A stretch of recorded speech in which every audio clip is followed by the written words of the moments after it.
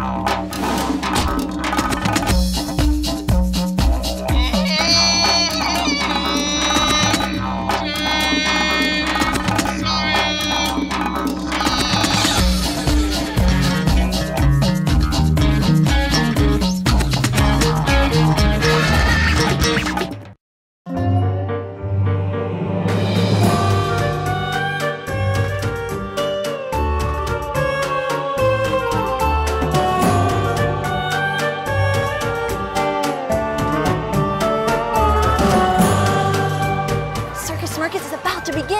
Now, most of the people in here are about to see some pretty cool acrobatics, but we're gonna take it a step further. And with the help of our Cameron team, we're going to be able to reveal the physics behind Newton's three laws of motion.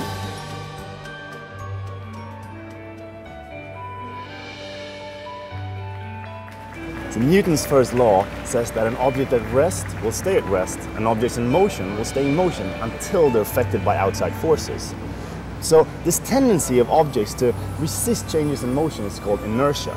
So it makes sense that Newton's first law is called the law of inertia. Ah, see that acrobat at rest? Because of his inertia, he will stay that way until some force is applied to him. So the counterbalance actually applies a downward force on his end of the rope, which then applies an upward force on the acrobat on the opposite end. Right there. Yeah, right there. See it? Well, the initial force applied to a circus performer is needed to make the acrobat change velocity or accelerate. Let's watch this in slow motion to see if we can see that force applied and the acceleration.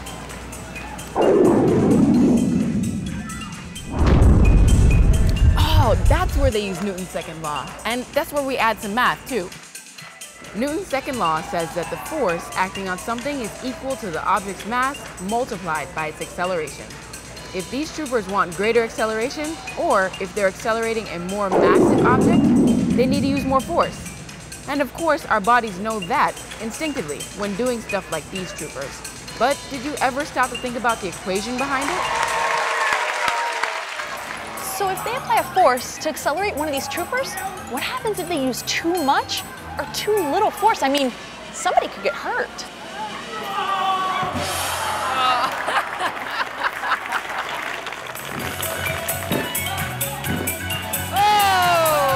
Did you see that? How did he accelerate like that? Well, obviously we know some force was involved, yet no other person was there to toss him. Where do you think the force came from? Hmm. I suppose old Newton pondered that question too, and that's what led to his third law. For every force, there's an equal and opposite force. It makes perfect sense when we look at it. When she wants to do a flip, she pushes down on the ground. The ground exerts an equal and opposite force on her mass. This pushes her up so she can do a flip.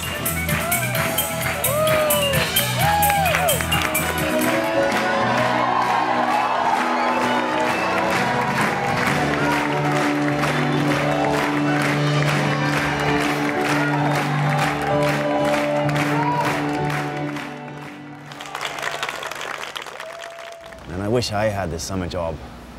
I wonder if there's an age limit. They must have practiced like crazy to land those flips. I wonder if understanding Newton's laws of motion would help them perfect their acts. So do you know what laws of physics were involved in your act today?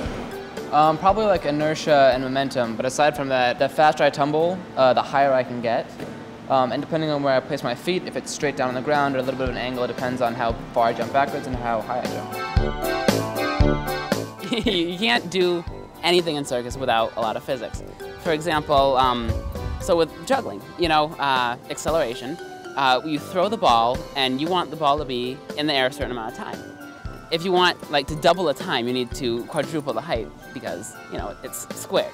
And other things like flips, uh, physics is really important for that. For example, conservation of angular momentum. You jump up, and when you first jump, you know you're in a layout position. You know your body's straight, and then to flip faster, you bring it into a tuck. And so by spinning faster, you know you're going to get your feet around under you. You know it's really easy to understand, but then to actually like do it. It's like, ugh, you know, you, you try to pull in the tuck. It's like, oh no, my abs aren't strong enough. So I want to be a circus trouper. So what do mm-hmm. I need? What, what kind of advice? Well, you need to practice hard, you need to climb those ropes, and you need to study physics. Yeah, that's right. study that physics.